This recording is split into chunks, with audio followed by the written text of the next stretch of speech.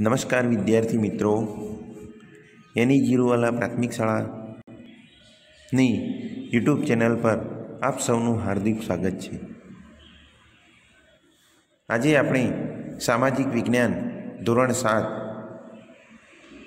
ભૂગોળનો પાઠ છે પૃથ્વીની આંતરિક રચના અને તેના ભૂમિ સ્વરૂપો વિશે અભ્યાસ કરવાના છીએ. નો પાઠ નવ. પૃથ્વીની આંતરિક રચના અને ભૂમિ સ્વરૂપો. જે પ્રથમ સત્રની અંદર આવે છે, તેના વિશે આપણે શીખવાના છીએ.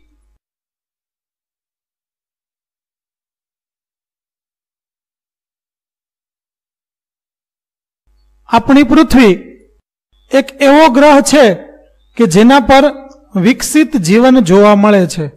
એટલે કે સૂર્યમંડળના જે ગ્રહો છે, તેમાં હજુ સુધી પૃથ્વી ઉપર જ સજીવ સૃષ્ટિ હોય તેવા પુરાવાઓ મળ્યા છે. એટલે કે અન્ય અવકાશી પિંડોની જેમ પૃથ્વીનો આકાર છે એ પણ ગોળાકાર છે. તે આપણે અગાઉના ધોરણમાં શીખી ગયા છીએ. તેમાં અંદર અને બહાર સતત પરિવર્તન થતું રહે છે. શું આપણે એવું વિચાર્યું છે કે પૃથ્વીના આંતરિક ભાગમાં શું હશે? પૃથ્વી કેવા પદાર્થોની બનેલી છે? તો આજે આપણે આ પાઠ દ્વારા તેની સમજ મેળવીએ કે પૃથ્વીના આંતરિક ભાગમાં શું છે અને તે કેવા પદાર્થોની બનેલી છે. તો ચાલો જોઈએ. પૃથ્વીનો આંતરિક ભાગ એટલે કે ભૂગર્ભ. પૃથ્વીએ ડુંગળીની માફક એક ઉપર એક સ્તરથી ગોઠવાયેલ અને અનેક સ્તરોથી બનેલી છે. એટલે કે તેનામાં કોઈ એક જ સ્તર નહીં, પણ અલગ અલગ પ્રકારના ઘણા બધા સ્તરો છે, તે આવેલા છે. પૃથ્વીની સપાટીના સૌથી ઉપલા સ્તરને ભૂકવચ કહે છે. આ સૌથી પાતળું સ્તર હોય છે. એટલે કે આપણે જે જમીન ઉપર રહીએ છીએ, એ જમીનને ભૂકવચ પણ કહેવામાં આવે છે. એ ભૂમિખંડ ઉપર આશરે પાંત્રીસ કિલોમીટર સુધી જોવા મળે છે. ભૂમિખંડની સપાટી ખાસ કરી અને સિલિકા અને એલ્યુમિના જેવા ખનિજોથી બનેલી છે. તેથી તેને સિયાલ કહેવામાં આવે છે. મહાસાગરનું કવચ મુખ્યત્વે સિલિકા અને મેગ્નેશિયમનું બનેલું છે. તેથી તેને સીમા કહેવામાં આવે છે.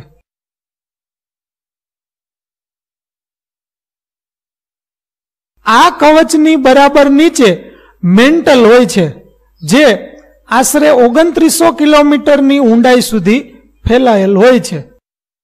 પૃથ્વીનું સૌથી આંતરિક સ્તર ભૂગર્ભ છે, જેની ત્રિજ્યા આશરે પાંત્રીસો કિલોમીટર જેટલી છે, જે ખાસ કરી અને નિકલ અને ફેરસનું બનેલું હોય છે તથા તેને નિફે કહે છે.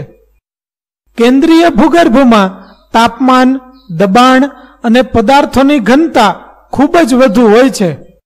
આકૃતિ દ્વારા સમજ મેળવીએ, તો આ જે આકૃતિમાં તમને ભાગ દેખાય છે, તેને પૃથ્વીનું આંતરિક ભૂગર્ભ કહેવામાં આવે છે. ત્યાર પછીનો જે ભાગ દેખાય છે, તે પૃથ્વીનું બાહ્ય ભૂગર્ભ છે. ત્યાર પછી જે પીળા રંગનો ભાગ આપણને દેખાય છે, તેને મેન્ટલ તરીકે ઓળખવામાં આવે છે. અને ત્યાર પછીનો ભાગ છે એ પૃથ્વીનો ઉપલો પોપડો છે, જેના ઉપર આપણે રહીએ છીએ.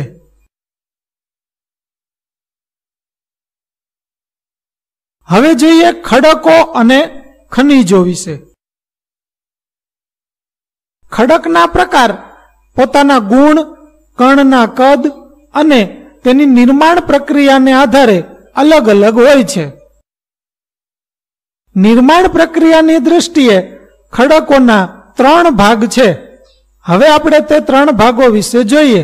તો તેમાં સૌ પ્રથમ ભાગ છે અગ્નિકૃત ખડકો, જેને ઇગ્નિયસ પણ કહેવામાં આવે છે. ગરમ મેઘમાં ઠંડો થઈ અને નક્કર થઈ જાય છે. આ પ્રકારે બનેલ ખડકને અગ્નિકૃત ખડક કહે છે. અગ્નિકૃત ખડકો બે પ્રકારના હોય છે. આંતરિક ખડક અને બાહ્ય ખડક. આકૃતિમાં જુઓ, આપણને જોવા મળે છે કે નીચેથી ગરમ મેઘમાં છે એ ઓગળતો જાય છે અને એના લીધે આકૃતિમાં જે તમને બતાવવામાં આવે છે, આ પ્રકારે અગ્નિકૃત ખડકો છે, તેનું નિર્માણ થાય છે. શું તમે જ્વાળામુખીમાંથી નીકળનાર લાવાની કલ્પના કરી શકો છો? વાસ્તવમાં આગની જેમ લાલચોળ પ્રવાહી મેઘમાં જ લાવા છે, જે પૃથ્વીના આંતરિક ભાગમાંથી નીકળી અને સપાટી ઉપર પથરાય છે. જ્યારે પ્રવાહી લાવા પૃથ્વીની સપાટી પર આવે છે, તે ઝડપથી ઠંડા થઈ અને નક્કર, એટલે કે કઠોર બની જાય છે. અને ભૂકવચ પર જોવા મળતા આવા ખડકોને બાહ્ય અગ્નિકૃત ખડક કહે છે.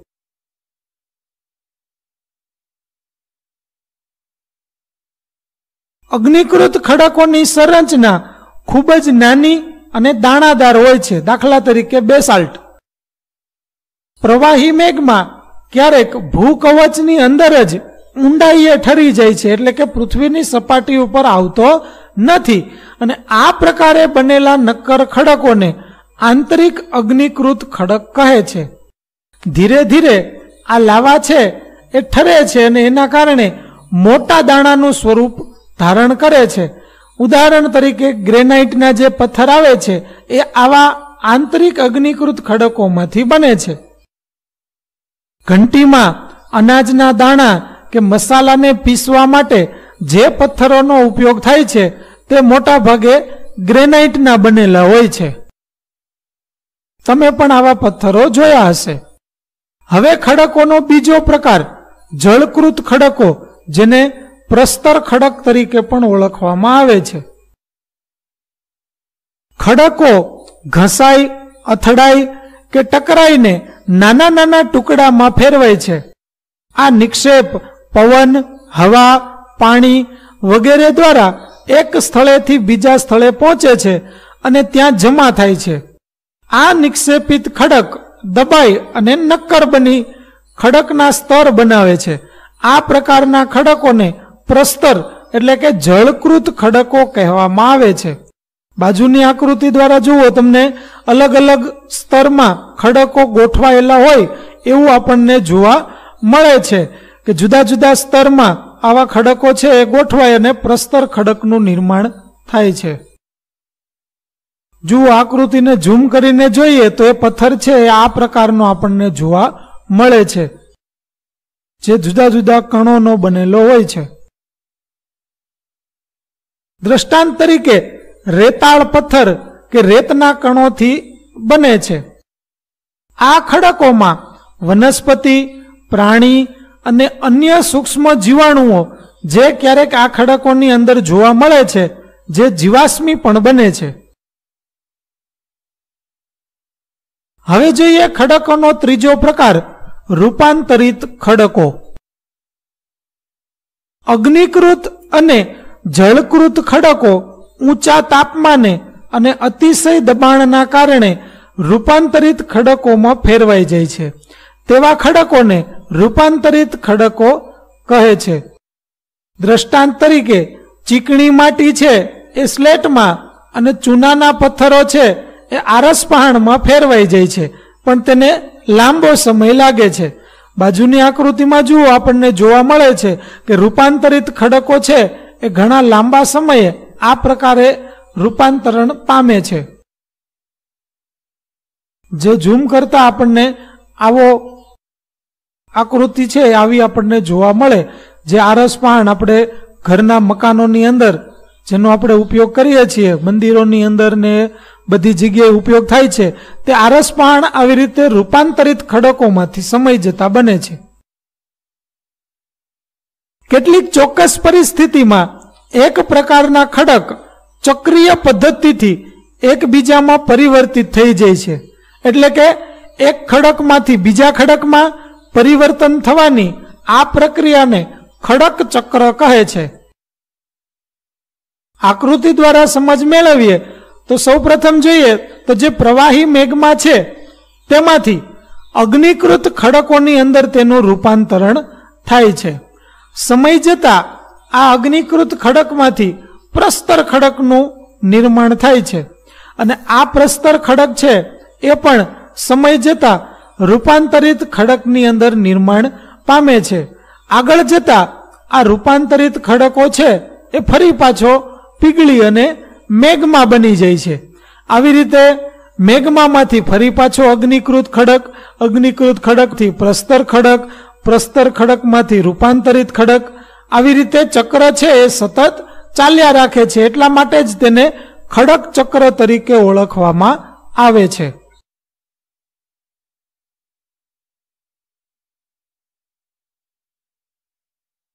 હવે આપણે જે આકૃતિ દ્વારા સમજ મેળવી તેના વિશે જોઈએ કે પ્રવાહી મેઘમાં ઠંડો થઈ અને નક્કર અગ્નિકૃત ખડક બની જાય છે. આ અગ્નિકૃત ખડકો નાના નાના ટુકડા રૂપે એક સ્થળેથી બીજા સ્થળે સ્થળાંતર થઈ અને પ્રસ્તર ખડકનું નિર્માણ કરે છે. તાપમાન અને દબાણના કારણે આ અગ્નિકૃત અને પ્રસ્તર ખડક રૂપાંતરિત ખડકમાં બદલાઈ જાય છે. અતિશય તાપમાન અને દબાણના કારણે રૂપાંતરિત ખડક છે એ પુનઃ એટલે કે ફરીથી પીગળી અને પ્રવાહી મેઘમાં બની જાય છે. આ પ્રવાહી મેઘમાં ફરી ઠંડો થઈ અને નક્કર અગ્નિકૃત ખડકમાં ફેરવાઈ જાય છે. આમ આ ચક્ર છે એ સતત ચાલ્યા રાખે છે. ખડકો આપણા માટે ખૂબ ઉપયોગી છે. નક્કર ખડકોનો ઉપયોગ સડક બનાવવા, મકાન બનાવવા, ઇમારતો બનાવવા વગેરે જગ્યાએ તેનો ઉપયોગ કરવામાં આવે છે. ખડક છે એ વિવિધ ખનિજોમાંથી બને છે.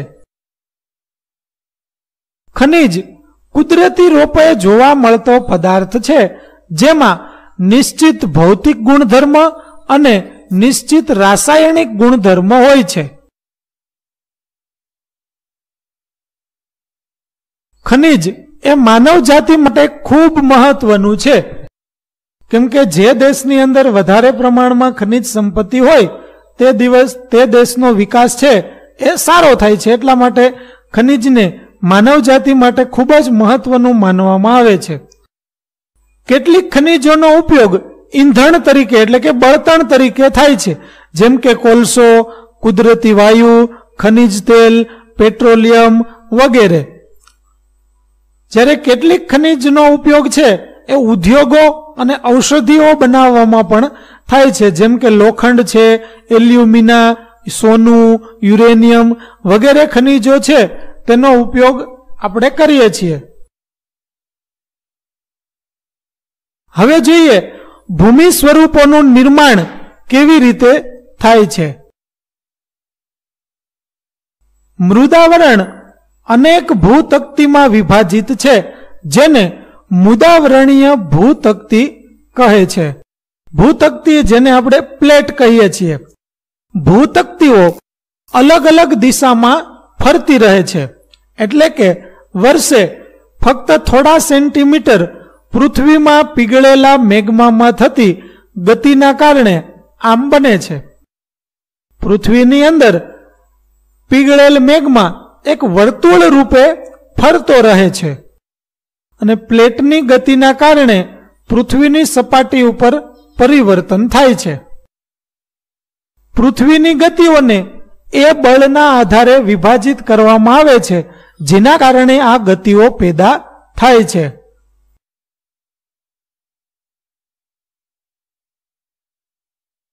જે બળ પૃથ્વીના આંતરિક ભાગમાં નિર્માણ પામે છે, તેને આંતરિક બળ કહે છે. અને જે બળ પૃથ્વીની સપાટી ઉપર ઉત્પન્ન થાય છે, તેને બાહ્ય બળ કહે છે. આંતરિક બળ ક્યારેક આકસ્મિક ગતિ પેદા કરે છે, તો વળી ક્યારેક ધીમી ગતિ.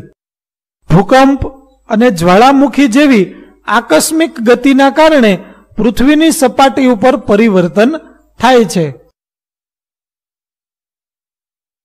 ભૂકવચ પર ખુલ્લું એક એવું છિદ્ર હોય છે, જેમાંથી પીગળેલા પદાર્થ અચાનક નીકળે છે, તેને જ્વાળામુખી કહેવામાં આવે છે.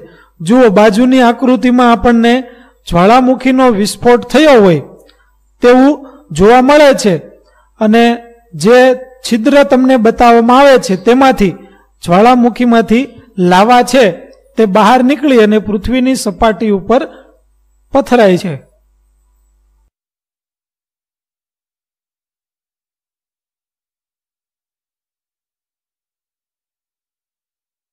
આમ, મૃદાવરણીય પ્લેટોની ગતિશીલતાથી પૃથ્વી સપાટી ઉપર કંપન થાય છે અને આ કંપન તેના કેન્દ્રની ચારે બાજુ ફરે છે અને આ કંપનને ભૂકંપ કહેવામાં આવે છે. આકૃતિ દ્વારા સમજ મેળવીએ તો ભૂકંપ છે એ પૃથ્વીની આંતરિક ગતિના કારણે થાય છે. જે જગ્યાએથી ભૂકંપ ઉદ્ભવે છે તેને ભૂકંપનું ઉદ્ગમ કેન્દ્ર કહેવામાં આવે છે, જે આકૃતિમાં આપણે જોઈ શકીએ છીએ. અને ઉદ્ગમ કેન્દ્રથી પૃથ્વીની સપાટી ઉપરનો જે ભાગ છે, તે ભાગને અધિકેન્દ્ર કહેવામાં આવે છે. હવે જોઈએ ભૂકંપની તીવ્રતા કેવી રીતે જોવા મળે છે. તો જે અધિકેન્દ્ર છે, તે અધિકેન્દ્રથી નજીકના વિસ્તારમાં ભૂકંપના તરંગો છે એ ફેલાવાની શરૂઆત થાય છે. અધિકેન્દ્રની નજીકમાં ભૂકંપના તરંગોની તીવ્રતા છે તે વધારે હોય છે. એના કારણે અધિકેન્દ્રની નજીકમાં ભૂકંપથી વધારે નુકસાન થાય છે. જેમ જેમ અધિકેન્દ્રથી દૂર જતા જઈએ, તેમ તેમ તેની તીવ્રતા છે એ ઘટતી જાય છે અને નુકસાનીનું પ્રમાણ છે એ પણ ત્યાં ઓછું હોય છે.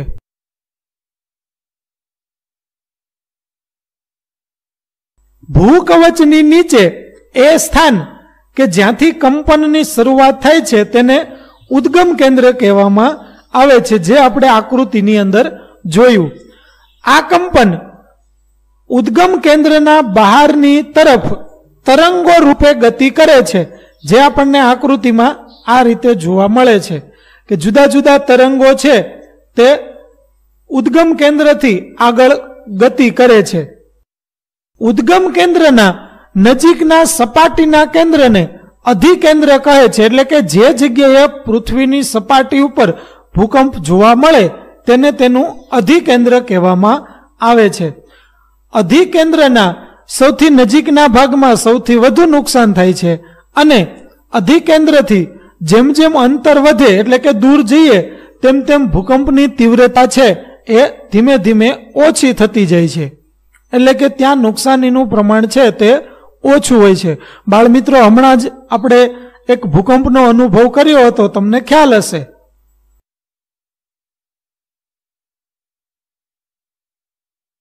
ભૂકંપની આગાહી કરવી સંભવ નથી, એટલે કે ભૂકંપ ક્યારે આવવાનો છે તે આપણે કહી શકતા નથી. પરંતુ જો આપણે પહેલેથી સાવચેત હોઈએ, તો તેની અસરને આપણે ચોક્કસપણે ઘટાડી શકીએ. સ્થાનિક લોકો છે એ કેટલીક સામાન્ય પદ્ધતિથી ભૂકંપની સંભાવનાઓનું અનુમાન કરે છે. જેમ કે પ્રાણીઓના વર્તનનો અભ્યાસ, તળાવની માછલીઓ છે એ ઝડપથી જો હેરફેર કરવા લાગે, સરીસૃપો એટલે કે જે નાગ જેવા જંતુઓ છે તે પૃથ્વીની સપાટી ઉપર આવે, તો કેટલાક લોકોને ખ્યાલ આવે છે કે આવી રીતે ભૂકંપ છે એ આવવાનો છે.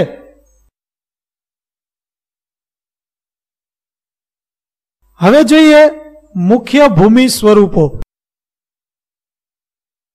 ધોવાણ, પરિવહન અને નિક્ષેપણ જેવી પ્રક્રિયા દ્વારા ભૂમિ સપાટી સતત બદલાતી રહે છે. પૃથ્વીની સપાટી પર ખડકોના તૂટવાથી ઘસારણની ક્રિયા થાય છે. ભૂસપાટી પર જળ, પવન અને હિમ જેવા વિભિન્ન ઘટકો દ્વારા થતા ક્ષયને ઘસારણ કહીએ છીએ. એટલે કે જળ, પવન અને હિમ દ્વારા પૃથ્વીની સપાટી છે એની અંદર ફેરફાર થતા જાય છે. પવન, જળ વગેરે ઘસારણયુક્ત પદાર્થોને એક સ્થળેથી બીજા સ્થળે લઈ જાય છે. તેને પરિવહન કહે છે. અને તે પદાર્થોનું અન્ય જગ્યાએ નિક્ષેપણ કરે છે. ઘણી વખત બાળ મિત્રો આપણે જોયું હોય છે કે વંટોળ આવે છે તો વંટોળની સાથે ઘણો બધો કચરો કે ધૂળ કે આ બધું છે તે ઉડતું હોય છે અને સમય જતાં વંટોળ શાંત થાય તો જે જગ્યાએ વંટોળ શાંત થયો હોય તે જગ્યાએ આ બધું છે પથરાઈ જાય છે. આપણા ઘરની અંદર પણ આમાંના ઘણા રજકણો, ધૂળ છે એ આવતી હોય છે તો એ નિક્ષેપણ તરીકે જ આપણા ઘરની અંદર આવે છે. ઘસારણથી નિક્ષેપણ સુધીની આ પ્રક્રિયા પૃથ્વીની સપાટી પર વિભિન્ન ભૂમિ સ્વરૂપોનું નિર્માણ કરે છે. હવે તેમાં જોઈએ, નદી છે એ કેવી રીતે ઘસારણનું કાર્ય કરે છે? નદીના પાણીથી જમીનનું ઘસારણ થાય છે. જ્યારે નદી નક્કર ખડકથી સીધા ઢોળાવવાળી ખીણ કે નીચાણવાળી ભૂમિમાં પડે તો તેને જળ પ્રપાત કે જળ ધોધ કહે છે. જો બાજુની આકૃતિમાં આપણને જળ ધોધ છે, તે જોવા મળે છે. બાળમિત્રો, અત્યારે ચોમાસાની ઋતુ છે. તમે પણ ઘણા બધા જળ ધોધની મુલાકાત છે, તે લીધી હશે. તેની તમારા પરિવારના સભ્યો સાથે ચર્ચા કરજો. જ્યારે નદી મેદાન ક્ષેત્રમાં પ્રવેશ કરે છે, ત્યારે તે વળાંકવાળા માર્ગ પર વહેવા લાગે છે. નદીના આ મોટા વળાંકોને સર્પાકાર વહન માર્ગ કહે છે. જુઓ, બાજુની આકૃતિમાં આપણને જોવા મળે છે કે નદી છે તે સર્પાકાર એટલે કે સાપ જેવી રીતે વાંકા ચૂકા રસ્તે ચાલે, તેવી રીતે નદી છે તે પણ સરકાપા, સર્પાકાર વહન માર્ગનું નિર્માણ કરે છે, જે આકૃતિની અંદર આપણને જોવા મળે છે.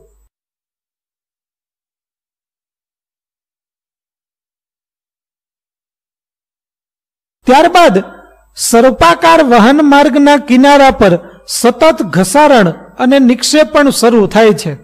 સર્પાકાર વળાંકો સમય જતા ખૂબ જ નજીક આવી જતા લગભગ ઘોડાની નાળ આકાર કે વર્તુળ આકાર ધારણ કરે છે. એટલે કે સર્પાકાર માર્ગ છે એ સતત પાણીના પ્રવાહને લીધે ધોવાઈ જાય છે અને તે જગ્યા છે એ ઘોડાની નાળ આકાર કે વર્તુળ આકાર છે એ ધારણ કરી લે છે. આ અવસ્થામાં જ્યારે નદીમાં પૂર આવે, ત્યારે નિક્ષેપણથી જો વળાંક વચ્ચેના ભૂમિ ભાગો નદી પ્રવાહથી કપાય છે અને તેના લાંબા માર્ગને છોડી સીધો માર્ગ ગ્રહણ કરે છે, નદીના આ છોડેલા નળાકાર ભાગમાં પાણી રહી જાય છે, તેને નળાકાર સરોવર કહેવામાં આવે છે. જુઓ, બાજુની આકૃતિમાં આપણને જોવા મળે છે કે નદી છે એ ચાલી જાય છે અને નિક્ષેપણના કારણે કેટલાક ભાગની અંદર પાણી છે, તે ભરાયેલું રહે છે, જે નળાકાર સરોવર કહેવામાં આવે છે. આવી રીતે નળાકાર સરોવરનું નિર્માણ નદી દ્વારા કરવામાં આવે છે.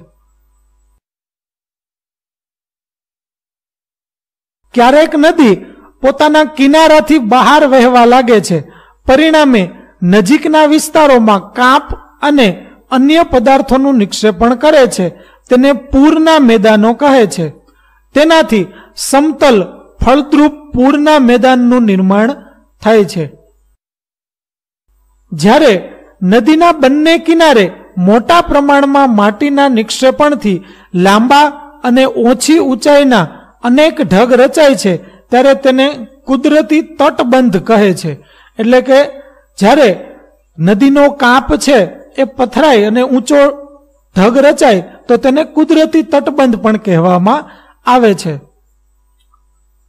સમુદ્ર સુધી પહોંચતા સુધીમાં નદીનો પ્રવાહ છે એ ધીમો થઈ જાય છે તથા નદી અનેક પ્રવાહોમાં વિભાજિત થઈ જાય છે, જેને શાખા પ્રશાખા કહેવામાં આવે છે. જુઓ, બાજુની આકૃતિમાં આપણને જોવા મળે છે કે નદીનો જે મુખ્ય પ્રવાહ હતો તેમાંથી અલગ અલગ વિભાગો પડે છે અને શાખા પ્રશાખાની અંદર નદી છે વિભાજિત થઈ અને ત્યાર પછી આગળ જુઓ આપણને સમુદ્ર દેખાય છે, તે સમુદ્ર સાથે મળી જાય છે.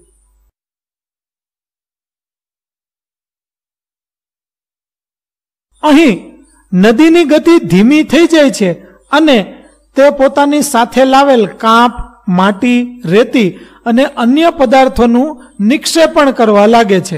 એટલે કે ત્યાં ને ત્યાં જ આ પદાર્થો છે, માટી, કાંપ, રેતી, એ ત્યાં ને ત્યાં જ જમીનમાં રહી જાય છે અને નદીનું પાણી છે એ આગળ નીકળી જાય છે. દરેક શાખા પ્રશાખા પોતાના મુખનું નિર્માણ કરે છે અને બધા મુખોના નિક્ષેપણના જથ્થાથી મુખ ત્રિકોણનું નિર્માણ થાય છે. હવે જોઈએ સમુદ્રના મોજાનું કાર્ય. એટલે કે સમુદ્રના મોજા દ્વારા કેવી રીતે ઘસારણ અને નિક્ષેપણની પ્રક્રિયા થાય છે. બાળ મિત્રો તમે દરિયા કિનારે તો ગયા જશો તો ત્યાં તમને આવું જોવા મળ્યું હશે. સમુદ્ર મોજાના ઘસારણ અને નિક્ષેપણ કિનારાના ભૂમિ સ્વરૂપો બનાવે છે. સમુદ્રના મોજા સતત ખડકો સાથે ટકરાયા કરે છે, જેનાથી તિરાડો બને છે. અને સમયાંતરે તે મોટી અને પહોળી બનતી જાય છે અને તેના કારણે સમુદ્રી ગુફા છે એ નિર્માણ પામે છે. દરિયા કિનારે તમે આવી રીતે ઘસારણની પ્રક્રિયા છે એ જોઈ હશે કે દરિયાના મોજા છે એ સતત કિનારા સાથે અથડાય અને કિનારાના જે પથ્થરો હોય છે તેનું ધોવાણ કરી નાખે છે. સમય જતા આવા પથ્થરો છે તેમાંથી ગુફાઓનું નિર્માણ થઈ જાય છે. આ ગુફાઓ મોટા થતા જવાથી માત્ર છત જ રહે છે અને તેનાથી તટીય કમાન બને છે. સતત ઘસારણ છતને પણ તોડી નાખે છે અને ફક્ત દિવાલો રહે છે. દિવાલ જેવા આ ભૂમિ સ્વરૂપને સ્ટેક કહે છે. સમુદ્ર જળની ઉપર લગભગ ઉર્ધ્વ થયેલા ઊંચા ખડકાળ કિનારાઓને સમુદ્ર કમાન કહે છે. સમુદ્રી મોજાઓ કિનારા પણ, કિનારા પર નિક્ષેપણ જમા કરી અને સમુદ્ર પુલિનનું નિર્માણ કરે છે. હવે જોઈએ હિમનદીનું કાર્ય. એટલે કે હિમનદી છે એ કેવી રીતે ઘસારણ અને નિક્ષેપણનું કાર્ય કરે છે. હિમનદી હિમાચ્છાદિત પર્વતીય ક્ષેત્રોમાં બરફની નદીઓ હોય તેને હિમનદીઓ કહેવામાં આવે છે. જુઓ બાળ મિત્રો બાજુની આકૃતિમાં આપણને જોવા મળે છે કે નદીનું પાણી છે અને વચ્ચે વચ્ચે બરફ છે. એ જામેલો આપણને જોવા મળે છે. તો જે ઊંચા પર્વતીય વિસ્તારો છે કે જે બરફાચ્છાદિત છે, આવા વિસ્તારોમાંથી આવી હિમનદીઓ છે એ નીકળતી જોવા મળે છે. હિમનદીઓ નીચેના નક્કર ખડકોથી ગોળાસ્મી માટી અને પથ્થરોનું ઘસારણ કરી અને વિશિષ્ટ કે ગોળાસ્મ ભૂમિ દ્રશ્યોનું નિર્માણ કરે છે. હિમનદી ઘસારણ દ્વારા યુ આકારની ખીણનું નિર્માણ એટલે કે ખીણ બનાવે છે.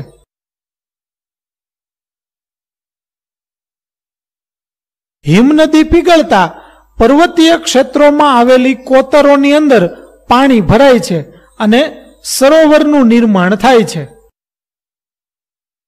હિમનદી દ્વારા લાવવામાં આવેલ પદાર્થો જેવા કે નાના મોટા ખડકો, રેતી અને કાંકરા નિક્ષેપિત થતા તેના પ્રવાહ વચ્ચે ટેકરી રૂપ ડ્રમલિન ભૂમિ સ્વરૂપની રચના થાય છે. જુઓ, બાજુની આકૃતિમાં આપણને જોવા મળે છે કે હિમનદીની અંદર વચ્ચે વચ્ચે કેટલીક જગ્યાએ ખડકો, નાના નાના ટુકડાઓ આ બધા ભેગા થઈ અને એક જમીન જેવો ભાગ છે એ ઉપસી આવે છે અને હિમનદીની અંદર આવી રીતે તેના નિક્ષેપણ છે એ થાય છે, જેને ડ્રમલિન તરીકે ઓળખવામાં આવે છે. હવે જોઈએ પવન દ્વારા કેવી રીતે ઘસારણ અને નિક્ષેપણ થાય છે. રણમાં પવન એ ઘસારણ અને નિક્ષેપણનું મુખ્ય પરિબળ છે. પવન ખડકોના ઉપરના ભાગની સરખામણીએ નીચલા ભાગને સરળતાથી ઘસે છે કારણ કે પૃથ્વીની સપાટી ઉપર પવનની તીવ્રતા છે વધુ હોય છે. જ્યારે ઉપરના ભાગમાં પવનની ગતિ છે એ ઓછી હોય છે. આથી આવા ખડકોનો આધાર સાંકડો અને મથાળું મોટું રહે છે. રણમાં ભૂછત્ર આકારના ખડકો જોવા મળે છે, જેને સામાન્ય રીતે ભૂછત્ર ખડક કહેવામાં આવે છે. તેવા ભૂમિ સ્વરૂપને ભૂછત્ર ખડક કહે છે. પવનની ગતિથી પોતાની સાથે રેતને એક સ્થળેથી બીજા સ્થળ પર પહોંચાડે છે. જ્યારે પવનની ગતિ અટકે છે, ત્યારે તે રેતી જમીન ઉપર પથરાય અને નાની ટેકરી બને છે, જેને ધુવા કહેવામાં આવે છે. રાજસ્થાનના રણમાં આ પ્રકારના ઢુવા છે, આપણને જોવા મળે છે. બાળ મિત્રો તમે ક્યારેક રાજસ્થાનમાં જાઓ, અથવા તો જે ગયા હશે, તેમણે જોયું હશે કે રાજસ્થાનના રણની અંદર આ પ્રકારે રેતીના ઢગ છે, આપણને થયેલા જોવા મળે છે, જે ધુવા કહેવામાં આવે છે.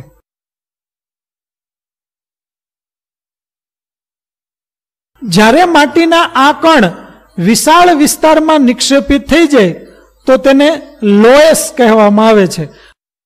ચીનની અંદર આવા મોટા લોયસ છે, એ નિક્ષેપના કારણે બનેલા જોવા મળે છે. જુઓ, બાજુની આકૃતિની અંદર, આ ચાઇનાની અંદર નિર્માણ પામેલા લોયસ છે, એ આપણને જોવા મળે છે જે રેતીના એક ઉપર એક થર થતા જાય અને તેના કારણે આવા લોયસ છે, તેનું નિર્માણ થાય છે. તો બાળ મિત્રો આ પાઠનો અભ્યાસ કર્યા બાદ તમારે તમારા પાઠ બુકની અંદર સ્વાધ્યાયના પ્રશ્નો છે તે લખવાના છે. વીડિયો જોવા બદલ આપનો ખૂબ ખૂબ આભાર.